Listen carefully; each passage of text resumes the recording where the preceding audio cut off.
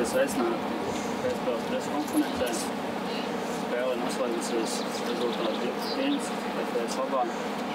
Un treneris komentārs spēlē. Ļoti grūta spēle. Protams, ka nevar būt šeit Liepājā vieglu spēli.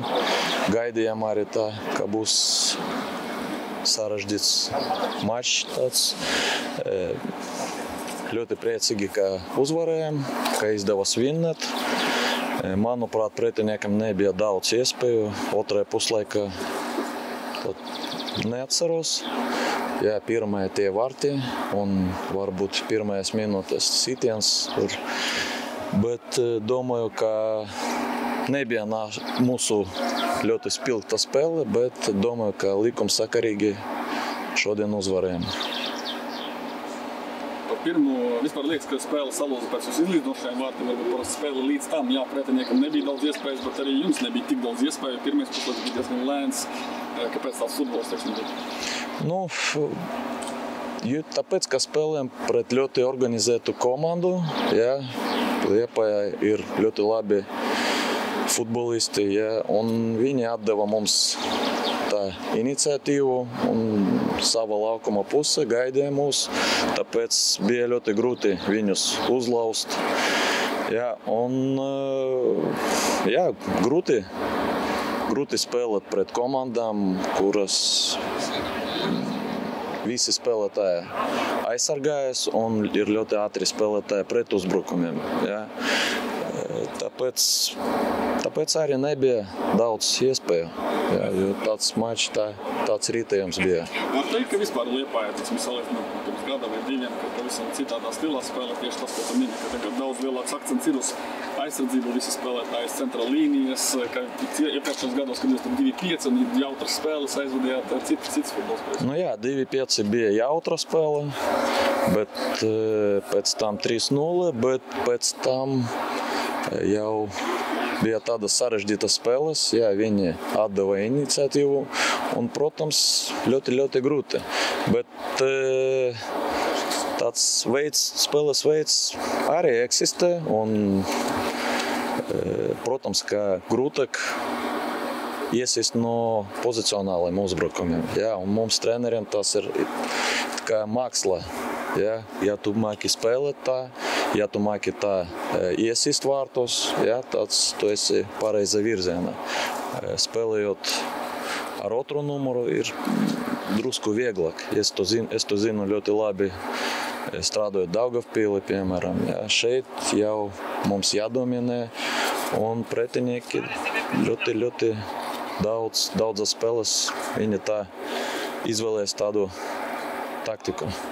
Jau pats teica, ka grūti ir pozicionāli uzbrukumā iesist vārtus, bet to spēles lūzumu un izlīdzinošos vārtus tieši principā ātrā uzbrukumā uztaisījāt, kad bija nesaprašanās arī protestēšana par tiesneša lēmumu, kādas bija emocijas laukumā, kā tu to epizodi redzēji, varbūt arī no paša Nu, nu, protams, protams, ir daudz vieglāk iesist no ātriem uzbrukumiem. Ja jūs paskatāties e, Instat, mēs visvairāk ieguvām, līga visvairāk ieguvām vārt, guvam vārtus pēc pozicionāliem uzbrukumiem.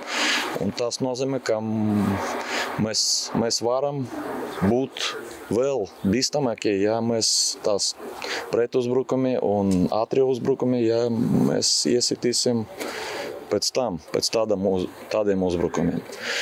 Runājot par to epizodi, nevaru neko pateikt, jo vēl neskatījos e, video, bet mūsu analīti, analītiķis viņš teica, ka viss bija tur pareizi. Ja?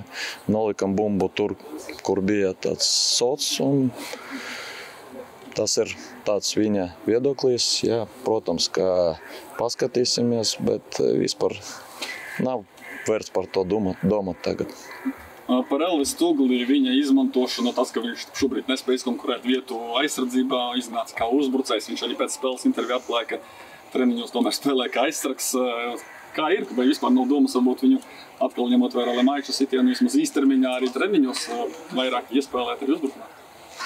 Nu, domāsim, protams, ka zinājām par to iespēju un arī parunājām ar viņu, ka varbūt, varbūt tā arī viņu izmantosim spēlē. Šodien tas izdevās Jā, ļoti labi.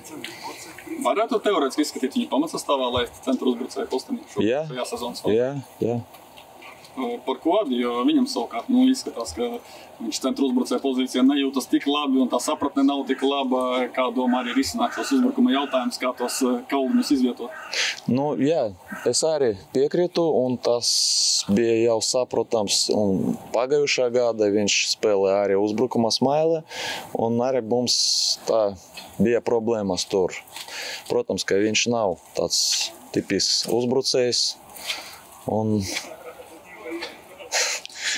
un arī domāsim par to, kā viņu labāk izmantot, jo viņš ir svarīga figūra arī mūsu komandai. Elvis Stūlis bija pirmā izvēle tajā brīdī, kad panācāt neizšķirt. jau, un Viņš nāca laukumā. Nu, bija skaidrs, ka viņš visticamāk ne jau aizsardzībā, ne jau uz rezultātu noturēšanu. Vai viņš bija pirmā, vai, un kāpēc viņš bija pirmā iz- izvēle, kurš sūta? Ja, viņš, ja, ja mēs viņu sūtījām, protams, viņš bija pirmā izvēle. Nevaram otro izvēli sūtīt. Jā, jā. Ko, ko cerējāt? Jums tomēr nomināli ir arī uzbrucēji. Jā, mēs zinājām, ka viņš izpildīs to, ko mēs gribam. Jā, jo bija da, es jau teicu, ka pretinieks spēlē dziļi aizsardzībā un bija grūti spēlēt caur centru. Jā, tāpēc gribējām vairāk centrēt, un mums vajadzēja tur spēlētājs, kas spēlēs labāk ar galvu. Jā, tāpēc mēs sūtījām viņu, bet jūs redzat, ka ne tikai ar galvu, ar kājām viņš spēlē tikpat labi. Spēles beigu fāze uzdevums šķita no, no malas atvirzīt cīņu pēc iespējas tālāk no, sava, no savas soda laukuma, un principā tas laikam arī nospēlē pilnībā. Jā, man liekas, arī esmu apmierināts ar to, jo e, vienmēr tādas spēles, kur ir slīdens re rezultāts, un viss var gadīties. un Tas ir e, ļoti labi, ka komanda to var izdarīt tādas situācijas. Šodien tas izdevās, jā, kā nebija problēma. Runājot par spēles sākumu, pieminējot organizēto liepājas aizsardzību un cilvēks, kur var aizskriet. Uzbrukumā iznāca vēl svaigs eh, Arturs Parašauskas, beigās vēl divi futbolisti. Tomēr saskatījāt tur risku, vai tomēr neredzējāt tik daudz risks, ņemot vērā savu kvalitīvu, teiksim, pretspēli liepājas aizsardzību? Nē, protams, protams mēs e, zinām, zinām ļoti labi pretinieku spēlētājus. Un, protams, tie ir ļoti bīstami. Mēs zinām arī, e, ka tādas labākas kvalitātes Artura un gatavojamies spēlē, ka viņš būs. Un, kad viņš iznāca, mēs vienkār, vienkārši kaut ko atgad, atgadinājām spēlētājiem, kā rīkoties, ja, kad viņš ir laukumā. Bet e, es neatceros, kāds bija rezultāts, kad, kā, pie kā viņu sūtīja laukumā. Pēc Elvis Stūļa neilgi viņš iznāca, bet liekas, ka viens viens vēl bija. viens viens. Jā, nu, Laikam pretinieks arī gribēja uzvarēt, pastiprināt spēli. Tas ir normāli un mums izdevās tas labāk šodien. Viktor, man vēl noslēdzošais jautājums ne par spēli, ja drīkst par to, ka Roberts Saviļnieks sociālos ar pretinieku, ar Rīgas spēlētāju apmainījies ar tādiem vārdiem, vai tev kā trenerim ir kaut kas sakāms, vai tu pilnībā uzskati, ka tā nav tava atbildības zona. Es par to neko nezinu. Tur bija, ka Roberts uzrakstīja, ka nu, nesportiski spēlē uh, šis Džurišiņš, Rīgas spēlētājs mačā pret citu pretinieku. Un tad Džurišiņš atbildēja viņam. Es nezinu, es nevaru tagad neko atbildēt, jo es neesmu kursa